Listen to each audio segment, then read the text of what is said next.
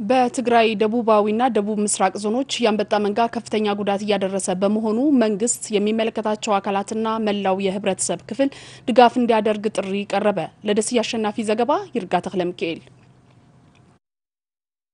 በትግራይ ክልል ደቡባዊ ዞን የታየው የአንበጣ መንጋ ጥቃቱንና ብዛቱን እያስፋፋ በደቡብ ምስራቅ ዞን በሕንጣሎና ወጀራት ወረዳዎች በሰብሎችና አትክልት ጉዳት እያደረሰ ይገኛል።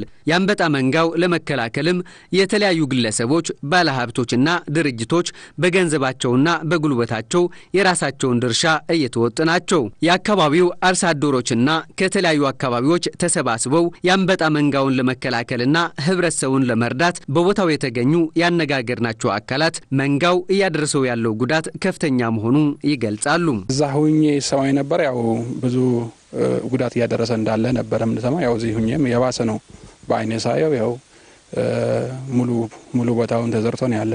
በጣም አሳሳቢ ደረጃ ላይ ነው ያለ። ያው የተበላ ማሽላም አይተናል። ሂደን እንደመጣ የተበላ ማሽላ አይተን በጣም ብዙ ጉዳት እያደረሰ ነው። በጣም ከፍተኛ ሰብል ጉዳት እያደረሰ ነው ያለው በጣም ከቁጥጥር ውጭ ያለ ነው ያለው።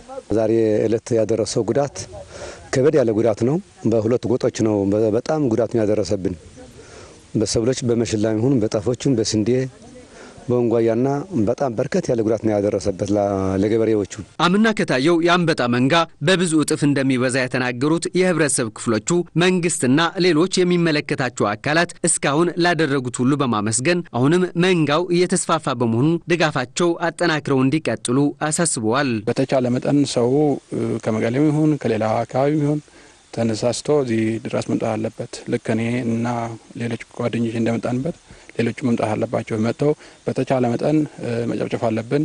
እኔ እንደውም እስካሁን ድረስ እኔ መንግስትን ነው የምወቅሰው። ለምን ብትለኝ አምና መጥተው ነበር። ይሄ እንትን ምልክቱን አይተነዋል። አምና በዚህ ጊዜ መጥተው ነበር። እንደዚህ ልክ በእንጨትና በጥሩምባ ምናምን አባረረን ያባረር ነው ብዙ ጉዳት ባያደርስም እና ዝግጅት ተደርጎ እስካሁን ድረስ የሆነ ነገር መደረግ ነበረበት ብዬ ነው የማስብ። ግን እስካሁን ድረስ ብዙም አልተደረገም። ይኸው ልክ እንደ አምና በእንጨትና በበትር እያባረርን ነው። ስለዚህ አሁንም አሁንም ለመንግስትም ለሚመለከተው አካልም ጥሪ የማደርገው at least ኬሚካል የሚረጭ አውሮፕላን መምጣት አለበት እዚህ አካባቢ። at least አዲስ አበባ የተያዘ ድሮን አለብን ከእስራኤል የመጣ ተጋሩ የላኩት አዲስ አበባ የተያዘ airport ቦሌ የተያዘ ድሮን አለብን። እሱን ድሮን መለቀቅ አለበት፣ እገዛ ማድረግ አለበት። ሌላ አማራጭ ካለ የአቶ ዳዊት ገብረ እግዚአብሔር አውሮፕላንም የገዙት አውሮፕላን ቦሌ ላይ ተቀምጠዋል። እሱንም መምጣት አለበት ብዬ ነው የማስበው። መንግስት ሆኖ ሌላ መንግስት ያልሆነ አካላት ከፍተኛ እገዛ ማድረግ አለባቸው። አሁን በጣም ኃይለኛ ጉዳት እያደረሰ ነው ያለውና ገበሬው ትልቅ እገዛ ያስፈልገዋልና ሁሉም ሰው በሚችለው በሚችለው መጠን እርዳታ ማድረግ ነው ያለበት። መተባበሩ ጥሩ ነው። አሁንም በመተባበር ላይ ያላችሁ እናንተም በጣም ነው የምናመሰግነው። አሁንም ከባድ ጉዳት ስላደረሰብን በሚደረግብን ከማንኛውም ነገርም ለህብረተሰቡ የሚጠቅም ነገር ካለ እንዲረዱ እንደምናሳስበው እኛ ሁሉም የትግራይ አርሶ አደሮች እርስ በርሳቸው በመተጋገዝ ሰብሎቻቸውንና አካባቢያቸው በንቃት መከታተል እንደሚገባቸውም መልእክታቸው አስተላልፈዋል።